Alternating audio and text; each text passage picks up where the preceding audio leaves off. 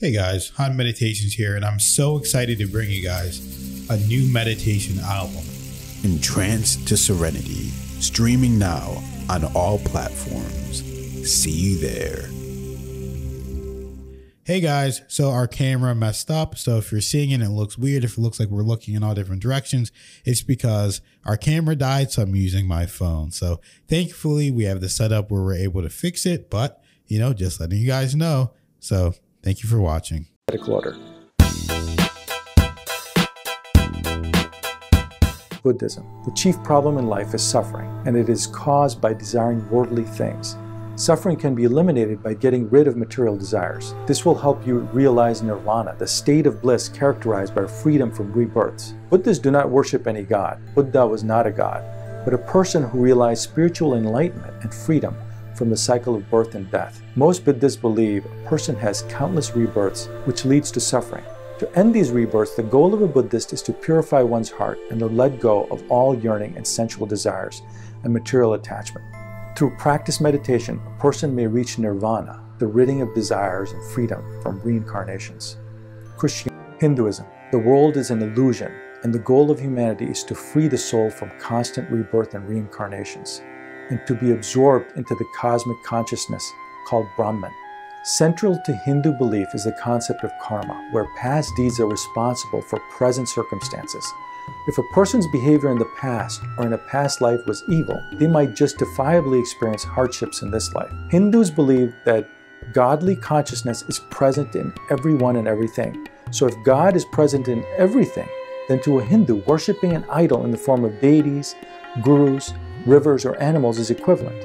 In its truest sense, Hinduism is monotheistic, but it is regarded by many as polytheistic because of the various representations of the one Brahman that Hindus might worship. Most Hindus agree that the root of their philosophy comes from a set of books called the Vedas, which translates to books of knowledge. Islam.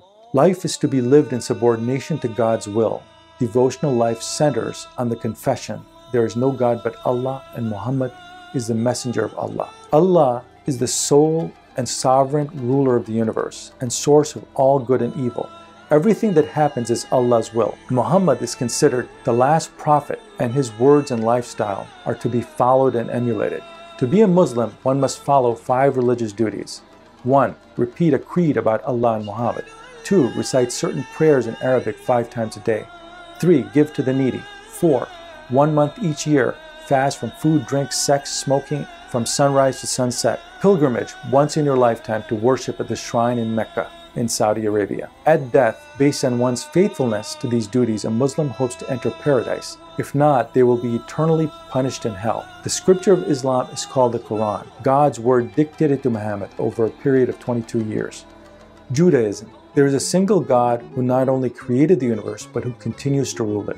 Jews are the chosen people of God with whom He has a covenant to set an example of holiness and ethical behavior in the world. Judaism establishes a relationship between Israelites, the children of Israel, and God. Judaism says that death is not the end of the world and that a new world is yet to come into existence.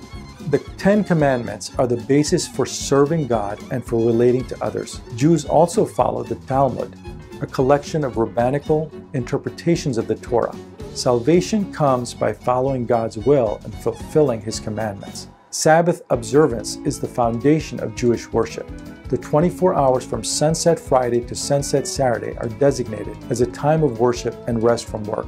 Two major events in the 20th century have influenced the Jews the Holocaust, the Nazis' destruction of millions of Jews, and Israel's reconstitution in 1948. The Torah or Old Testament the five books of the Hebrew Bible form the most important constituent. Hindus acknowledge the one Brahman who can manifest in multitudes of gods and goddesses. Buddhists say there is no deity. Muslims believe in a powerful but unknowable God. Christians believe in a loving God who created us to know Him. Jews believe God continues to rule the world and has a covenant with them to keep His laws in the world in exchange for the good deeds he does. What do these religions have in common? They all require faith that its teachings and practices will result in everlasting happiness for the human soul. In that sense, all these five religions serve a common purpose and have a common goal in mind. So you have to ask the question if every pilgrim is after the same result for the human soul, why do we all keep fighting on our way to get there? Wow, that's absolutely beautiful. And I believe that. I, I, I always wonder that why are we always fighting each other? We should be coming together and just being as positive as possible, having a high vibration, and teaching people as much as possible. Now, there's something from every religion that you can take advantage of and really just think about and ponder and take that with you. Now, the thing I like about Buddhists is they talk about attachment, and Kelly knows a lot about Buddhists as well. And they believe that attachment to anything is going to be basically suffering. Is that correct?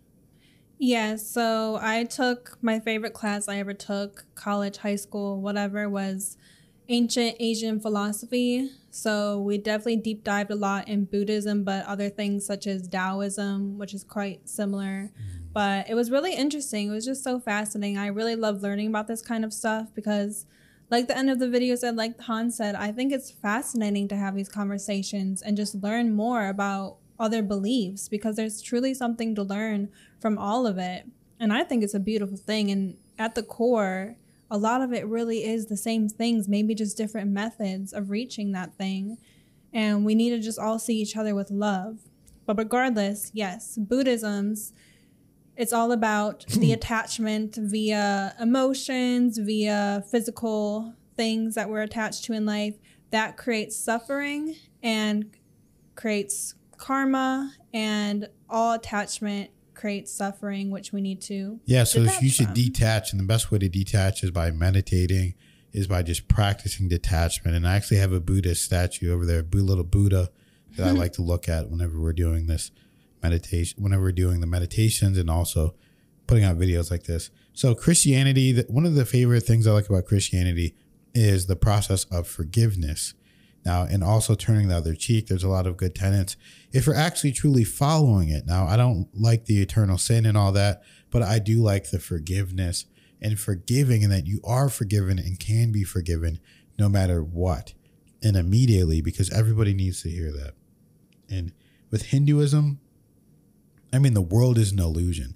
That just, that starts off so powerful. It sounds so powerful. It sounds really awesome and cool whenever you just start to hear the world is an illusion and what they believe is to get to Brahman, which is essentially the perfection of the soul, where they're able to get back into the uh, essence of the universe and all that is and absorb that consciousness within you. And that's one of the best things that can ever happen. And we, of course, we've been learning so much about Brahman, about uh, Hinduism, about Vedanta, about different religions through different swamis and uh, Swamiji. And it's just so nice to really start to understand and whenever you hear different words like brahman you know what it means yeah. and it's just really cool to whenever you start listening to it and, and learning more and like yeah i know what that means now so it's not like because before if i would have heard brahman i'd be like what is that yeah i'd be a little confused that's something we've really been deep diving this year on this channel learning a lot more about hinduism really fascinating way of thinking and we've really grown to be fond of it and really like it but I agree that with Christianity, forgiveness is absolutely huge. I think it's absolutely lifting of our hearts and our souls. And I like the aspect of Christianity how the belief is there that you can be have a personal connection with God and grow a really close loving relationship with God and I definitely agree with that. Yeah. And whenever it comes to Islam, I believe that how they said that everything that happens is Allah's will, God's will.